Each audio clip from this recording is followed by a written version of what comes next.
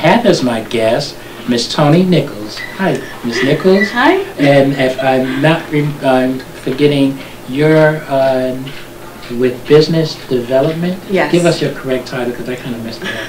it's okay. Yeah. Business Development Coordinator. Okay, thank you, Miss Toni Nichols, who's business development coordinator, and she's going to help us through this and get some of the information. Uh, Ms. Nichols, what new changes have taken place since Prospect Medical uh, purchased the hospital last March? So there have been a number of new changes that have been extremely exciting at the hospital.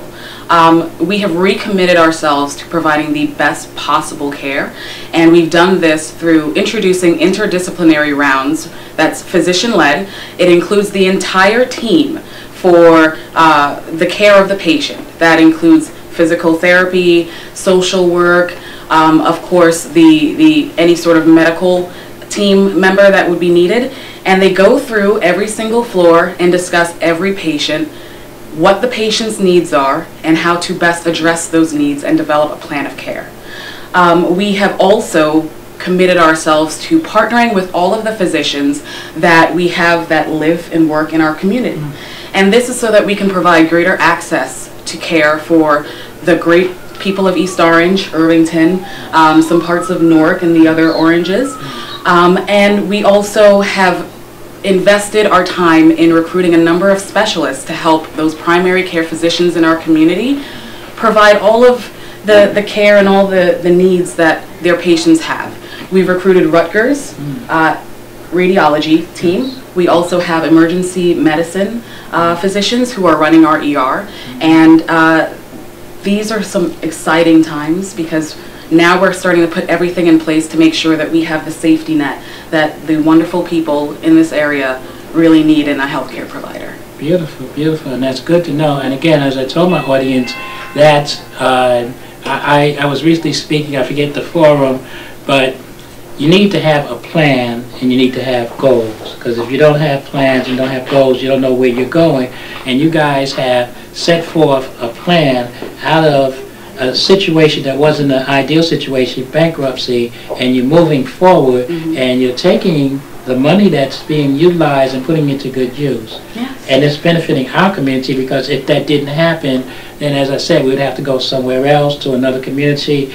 Not that you, you isolate yourself from other communities and their services, but it's always good when you can come locally and you can take advantage of something that's just as good as somewhere else. Yeah. Now, we talked about some mm-hmm. services.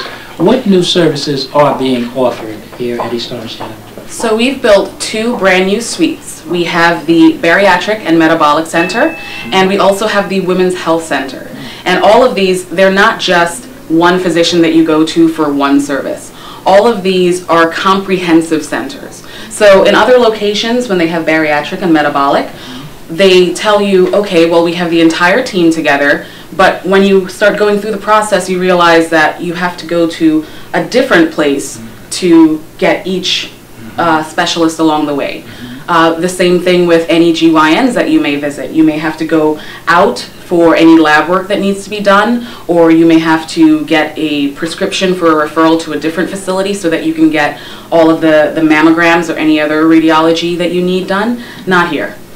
Here at East Orange General, you are in the same spot. Everyone you need on your care team is in that area. All of the services that you need, blood is drawn by the bedside. It's extremely convenient because we understand that our community, it's very difficult to take a day off mm-hmm. or have to navigate multiple locations and multiple providers so that you can get the care that you need. So we try to simplify that as much as possible. You go one place and hopefully, if time permits, you can get everything done in the same day. Beautiful. Again, that is always a concern of a person taking time off and, uh, you know, having to get to locations. Again, uh, those of us who are, well, I guess we have the advantage sometimes when they work well uh, of getting into a vehicle and just going somewhere, you know, thinks it's easy. But for some people, if you have to take public transportation or get someone to take you, it becomes cumbersome because then exactly. that, you know you have to get there, and then in light of it, you have to worry about your job. You can't take off for so many days for your job. Exactly. So that's great. That's a great way to to you know put everything together. I know our audience uh, hopefully will appreciate that. Now you may have spoken about uh, some of this, but what investments have been made uh, to East Orange General? There have been a number of exciting new investments that Prospect Medical have, has made. Um, we have expanded our women's health. We now offer digital mammography, which is not only more convenient, but it offers a better picture of dense breast tissue. So you're going to get a more accurate reading. Um, we also have upright stereotactic biopsy for added comfort for the patient, and it also is a time saver as well. We've invested in surgical equipment to upgrade our orthopedic, uh, our bariatric, and of course our general surgery. Um, we also have expanded our cardiology. Uh, we are expanding our nuclear medicine and interventional radiology so that we can better diagnose a lot of the cardiology issues that are quite prevalent in our area. Um, and we, as you've seen when you came through, Yes. we've done a number of gorgeous remodels. Yes. So yes. prior uh, to Prospect Medical, the hospital was a little dated. We have renovated the lobby, the ER, the inpatient units, uh, outpatient centers, and we're slowly moving through every part of the uh, hospital to make sure that when you come in, we are presented in a way that meets the expectation of our community. Beautiful, beautiful. And again, I've seen it. It's it's an excellent facility. Uh, I don't know. It's been a year, so many things may have been in place for a year, but it's brand new, spanking new. Uh, I've spoken to many of you before that. Uh, my profession is an inspector, so I look at things and I look at things from a perspective, uh, an inspector's eyes, and uh, the place is in excellent con- condition. Uh, everything seems brand new, and when you walk in and you're sick, it does make a difference. It just does. It If something looks drab, you're like, wow, they haven't take care of the place. How they gonna take care of me? Exactly. You're already feeling not at your best. Right. So we have a very warm and welcoming staff as soon as you walk in to add to Yeah. the, the beautiful remodels that we've made. Because at the end of the day, when you're feeling uh, ill or you have concerns about your health or the health of a loved one, Yes. You want someone to put your mind at ease. Yes. And that happens the moment you walk in the door with our concierge right at the front. And as you move through our hospital, we've also changed our culture. So you're going to get a lot of happy hellos, Mhm. smiles, Beautiful. and beautiful. we're a community hospital. Yes. So when you're here, you're more than just a number. You're one of us. And we want to make sure that you feel that way. Good. That's beautiful, and that's a good thing because again, uh, and those are the things that sometimes are missing. You know, you feel almost as you're visible uh, when you come in and people are, are greeting you. Sometimes it almost takes you off guard because it's not the norm. Uh, I have a grandson who's now down at Delaware State College, and I relate this story. We were standing in a line at McDonald's, and you know, looking forward to purchase something. All of a sudden, someone said, "Hello." Didn't really relate hello. And it turned around, and the person behind us was saying hello to us, though we had our back to them.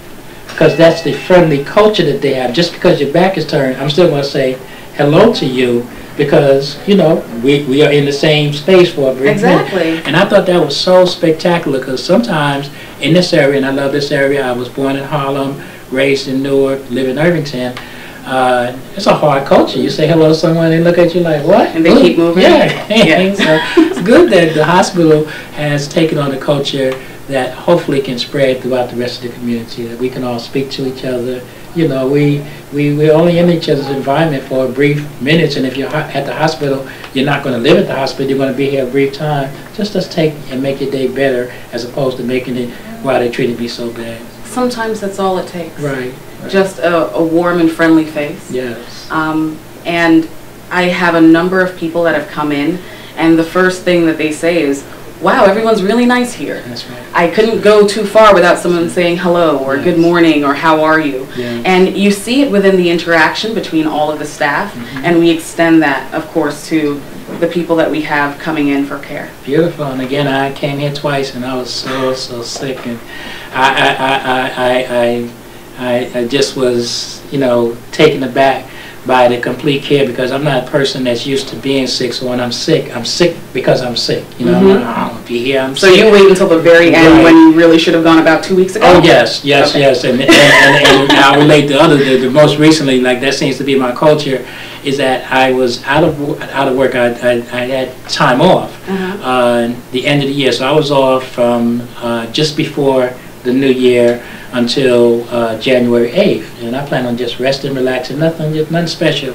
But some kind of bug hit me, even though I had the flu shot. So I went and did the over-the-counter medicines and everything. Felt a little bit better. Said, okay. Then I felt worse. And I'm still home, not doing anything special. And I took it and I felt a little bit better. Then I felt worse. So I finally came back to work on the 8th. Probably shouldn't because I didn't exactly feel 100%. And uh, uh, I did make an appointment with the doctor, but it wasn't until that Thursday. But I kept saying, I'm going to troop through this. I'm okay. I'm taking medicine, honey tea, and all that stuff that people, gin, ginseng and all that stuff. so finally I went to the doctor on, uh, my, my primary physician on Thursday, and he gave me the antibiotics. And it was almost immediate, you know, that I felt the effect and the change that sometimes you have to go to the professional. No, no disrespect to the over-the-counter medicines, but the professional knows when you need to take something a little bit stronger than something over-the-counter. So for a whole week, I probably suffered when I should have, just like what you said, came out the house. Uh-huh. But I said, I'm in the house. I'm not leaving the house, and I suffered because of that. So, But you're right, it is our culture. Yes. We do wait until the last minute. yeah. Um, so one of the other things that we've been sure to do is really get out into the community to spread awareness. Mhm. It's, I've lived here for over 20 years, Yeah. and I remember seeing a number of people going to school or work be- sick because they, what else are you supposed to do?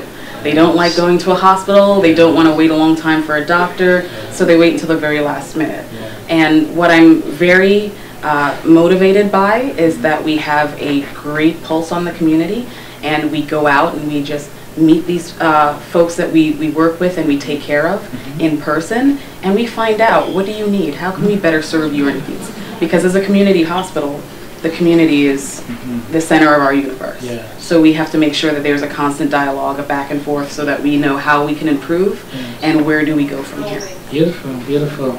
Uh, take advantage of this uh, fine facility. Uh, that's why I thought it not robbery that we put the show on the air, though the show is called Irvington Now.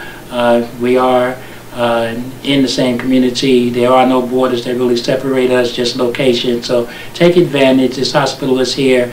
At one time, there was a hospital in Irvington that's no longer there, but now we have a hospital that is right next door. Take advantage of the improvements uh, that are here. Now, we've covered so much. Is there anything else that we, that, you know, you'd like to tell the audience?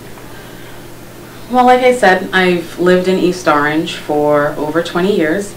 Uh, I remember all of the concerns that we had about this hospital in particular. I remember being skeptical at first, and all of that is why I'm so proud of how far, how far we've come. There are people that'll come in and say, wow, is this the same place? Is this the same hospital? And the short answer is, it's not.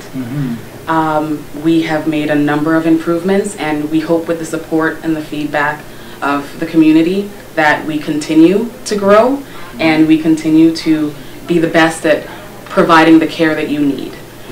And what I'm most proud of is we recognize how far we've come, but we're humble enough to know we've got further to go. That's good. So we welcome you. We hope that you'll give us a shot, and we look forward to getting the opportunity to gain your trust and become your hospital of choice. Beautiful, beautiful. Yes, give them an opportunity. Again, you know, people who know me, I've uh, been that kind of person. If I say something, it's, it's the word is bond, and I, you know, uh, I rely on that. That I continue to say that. I wouldn't say it if it wasn't true. You know, sometimes you just don't say anything. So I'm saying it. Uh, give the hospital a try. I've gotten a great opportunity to tour the facility. Even work, even better than that was I got a chance to use the services at the worst place that you want to be is the emergency room. You rather come to a preventative care or doctor uh, to get taken care of than end up in the emergency room. And no, no disrespect to the fine workers there, but it's generally the last place you want to come. Yeah. And I know that they both times they treated me so well. Is call a friend, call a neighbor, let them know the Irvington Now show is on so that you can see the second segment and some of the fine things that's going on here.